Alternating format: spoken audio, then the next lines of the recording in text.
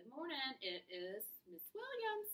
Hope everybody's doing well, and we really miss your sweet little faces and can't wait for you to get back to school.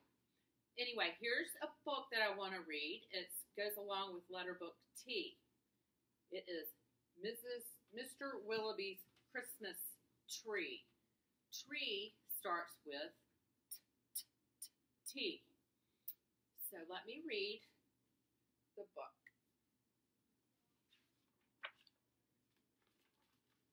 Mr. Willowby's Christmas Tree by Robert Barry.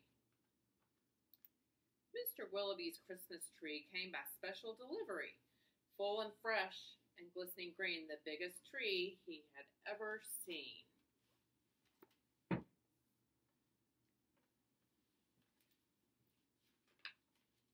He dashed downstairs to open the door.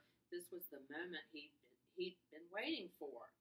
A magnificent tree, splendid, he cried. Please, sir, won't you carry it right inside? I think it might look best this year, right in the parlor corner here.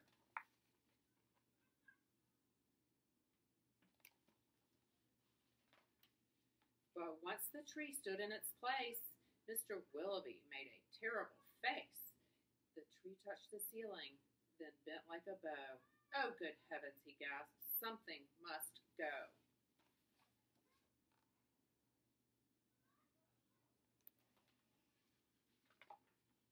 Baxter the butler called on in, ha- in haste to chop off the top, though it seemed quite a waste. That's great, Mr. Willowby cried with glee. Now we can start to trim my tree. When the trimming was well underway, the top was placed on a silver tray. Baxter said, I know who just who'd be delighted with this Christmas tree. So it was presented to Miss Adelaide, Mr. Willowby's upstairs maid.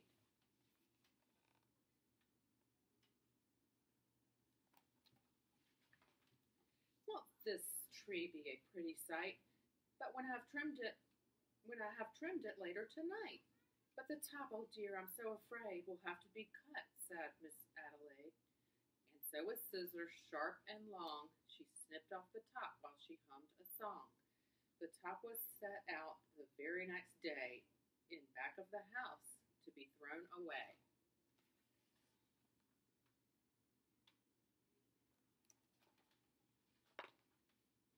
That little treetop caught the eye of Tim, the gardener, passing by. He certainly was not about to see that little tree thrown out. He hurried home straight away to see what Mrs. Tim would say. Fa la la, surprise, surprise! His wife could not believe her eyes. But our house, she said, is so snug and small. I do not believe we need it all.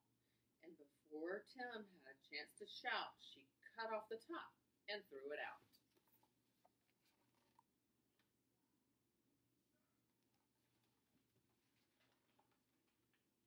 Bear was padding by.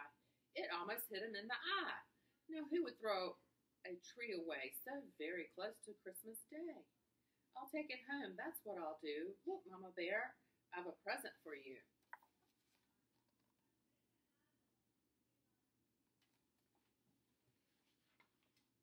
Isn't it a pretty tree? yawned Barnaby quite drowsily. But Little Bear, standing off far, cried out, That tree won't hold a star. Barnaby said, Let's cut a hunk off the bottom here at the trunk. But Mama Bear just shook her head and sliced the treetop off instead.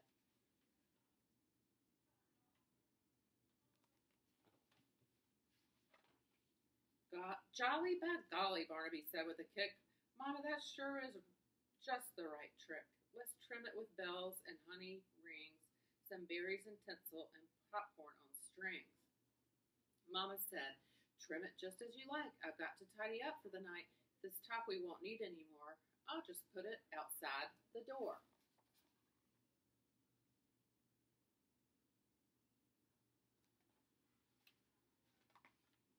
Later on that frosty night, Frisky Fox came into sight. He spied the treetop, rubbed his chin, opened his sack, stuff the top in.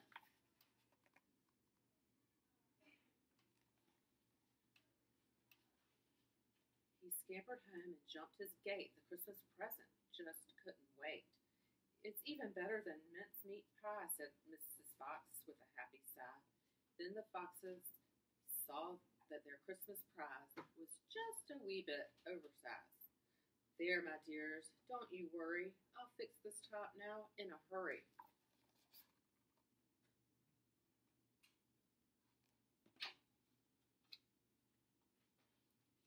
Benjamin Rabbit found it then, just outside the fox's den. It seemed, he thought, most certainly Santa left that for my family. Look, he cried, see the tree I found? With that he called his family round.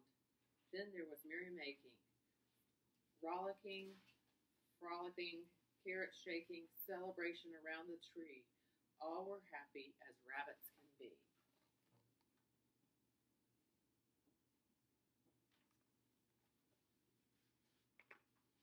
Benjamin Rabbit with his own hand sliced a carrot and made a stand. Now let's see how this will look in our little chimney nook. But right away the children cried, Look, it's leaning off to one side. It's too tall, that's all, said Mrs. Rabbit, and as though it were a summer carrot, she gave it a chop and threw it away. The top.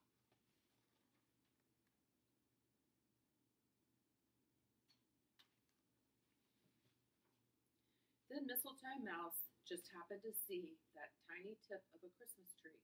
He pulled it through the snow and ice up some stairs. He fell down twice. At last he reached his cozy house. It's just the right size, said Mrs. Mouse. Then at the top, if you please, they put a star made out of cheese.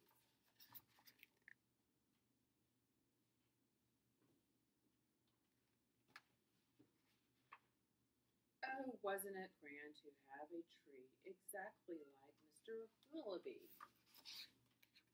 And that is the story of Mr. Willowby's Christmas tree.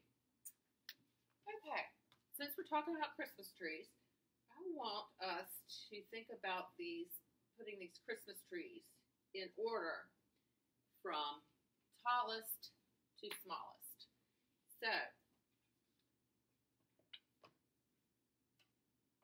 this one is short, this one's a little bit bigger, and this one's the biggest. So, if we were to put them in from tallest to shortest, we would have this one, and then this one is medium, and this one is small. See how this one's tall, a little bit smaller, and the smallest. What if we were going to put them in the order from smallest to tallest? How would we do that? Well, let's see. We said this one was the smallest, and then this one's a little bit bigger, and then this one is the biggest. So we have little, a little bit bigger, and the biggest. So small, medium, large. And that's how we put the Christmas trees in the order of smallest to tallest. Um, and I will see you soon. Bye.